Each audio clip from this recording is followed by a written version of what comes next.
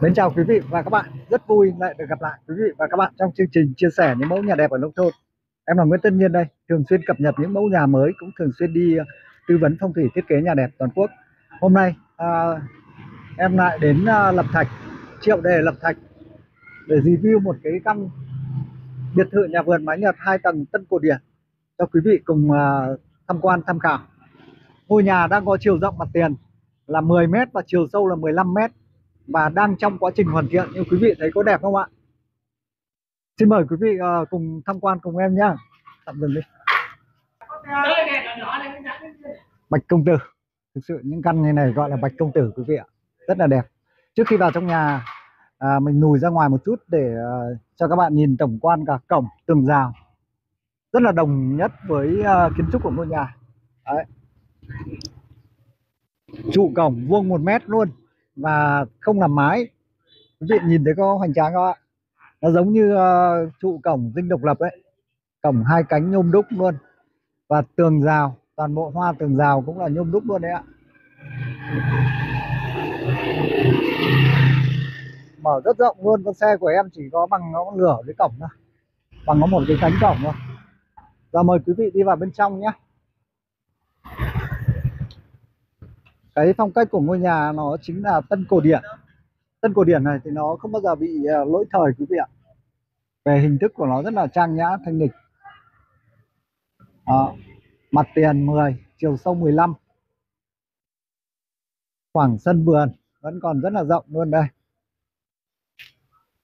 Trước khi đi vào trong nhà, mời quý vị ờ, tham quan phía bên ngoài từ sảnh chính sang sảnh phụ này và ngôi nhà làm cũng ờ, rất là chi tiết, kỹ luôn chân tường, ốp rất là đẹp. Nhôm xin pha, nhôm kính. Và ở khu vực triệu đề, lập thạch thì ờ, nhôm kính thì em ờ, phúc phúc đức nhôm kính thì làm hết những căn to rồi. Các bác làm nhôm kính thì gọi cho nhôm nhôm kính phúc đức thì em ghim ở số điện thoại của phúc ở dưới phần bình luận nhé nếu bạn à, biết rồi thì thôi. Và đây là cái khoảng uh, cửa để đi vào khu bếp. Cái khoảng này là gia chủ làm thêm quý vị nhé từ đây thôi. Tính từ đây trở về trước là 15 mét. Đó. Rất đẹp luôn. Khoảng bếp ở chỗ này rất là phù hợp này. Chúng ta đi xe về nhà xe đi vào bếp luôn. Mưa nắng không à, không sợ mưa nắng và hay nữa là phía sau cùng là có thêm một cái vệ sinh phụ dành cho lúc nhà có công có việc. Giờ em quay trở lại không gian chính để tham quan ngôi nhà. Mời quý vị uh, tiếp tục tham quan. Những cái khoảng uh, trống bồn hoa vẫn đang để và chưa chưa triển khai. Khu vực uh, khu vực đồi tùng phía trước này cũng rất là đẹp này. Nhưng mà trong thiết kế là có đồi tùng rồi nhưng mà bác ấy chưa làm. Thiết kế 5 bậc để đi vào trong nhà. Đấy. Ôi, ốp ốp cái gạch này hay đây các bạn ơi. Nhìn như vân đá thật luôn. Mà nó sẫm màu lại là chuẩn bài rồi đấy. Không gian phòng khách, quý vị thấy có rộng không ạ? 5 nhân với chiều sâu khoảng à, 10 50 mét phòng khách và phía sau phòng khách là phòng ăn. Đó, khu vực cầu thang ra sảnh phụ đây và bên dưới là có hai phòng ngủ quý vị nhé. Ngôi nhà đang trong quá trình hoàn thiện là hơi nên là nó hơi lộn xộn. Phòng này có diện tích 25 mét và có khép kín luôn. Em không vào trong nữa. Đó và khoang cầu thang của bác là 3 mét 32 luôn. Phòng ngủ số 2 phòng này cũng uh, hơn 20 mét và có khép kín luôn. Đó. Khu vực phòng ăn khoảng 25 mét và có khép kín đây có có VKC chung này. Và tiếp đến là không gian bếp này. Đó, và khu nhà kho bếp phụ ở đằng sau này. Trong tất cả những ngôi nhà càng hiện đại đến bao nhiêu thì càng cần cái khu phụ này các bác nhé. Đấy, ở nhà quê thì nó liên tục có những cái đồ linh tinh đỉnh kỉnh dao thớt này. Đấy, và những cái vòi nước bố trí rất là nhiều. Khi mà gia đình có công việc, một vài chục mâm cỗ là triển khai tất ở những cái khu vực này luôn. Còn bình thường đó là nhà kho là khu giặt khu phơi của chúng ta. Nếu tất cả những ngôi nhà mà chúng ta có cái khu này thì nhà chính của chúng ta mới gọn sạch được quý vị ạ. Vâng. Chào bác nhà đẹp quá em đang uh, review khán giả thăm gái.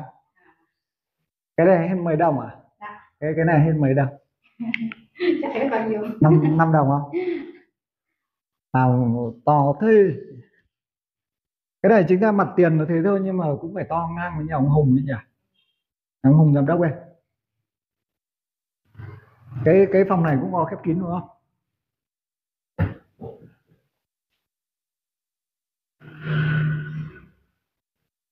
Quý vị à, thấy cái khoang thang nó thoáng không ạ? Chúng thiết kế được những cái ô, lấy kính, lấy gió như này rất hợp lý này.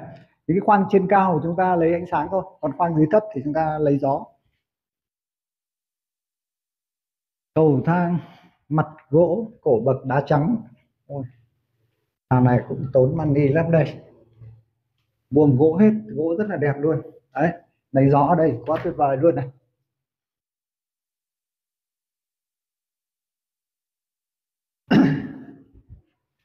Nhà to rộng quá à, tả. Ui cái phòng này phòng gì đây mà rộng mênh mông này? Phòng này chắc là phòng uh, sinh hoạt chung của của tầng 2 tiếp đến là không gian của phòng thờ. Phòng thờ chắc cái hướng này là hướng đẹp của bác chủ rồi. Và nối đi ra sảnh, phụ.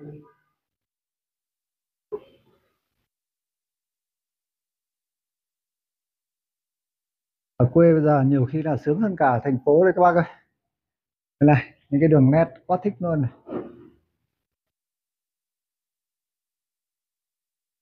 Nó cứ đổ đổ máy nhỉ? Bên trên này có hai phòng ngủ. Mà không thấy vệ sinh đâu nhỉ? Ở đây. Chắc là khép kín đây, đúng không? Đấy, khép kín đây. Khép kín thì vẫn một trục với bên dưới. Và có một vệ sinh chung ở cuối cùng đây. Cái này cũng vẫn cùng với cái trục ở bên dưới này quý vị này. Và về sau là có khu giặt, khu phơi.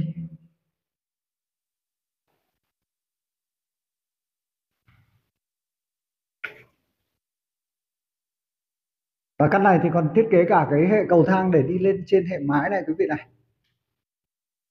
Đấy, làm này thì lên bảo dưỡng sửa chữa nó rất là tiện luôn. Thôi em ờ, không lên trên hệ mái nữa, quý vị nhé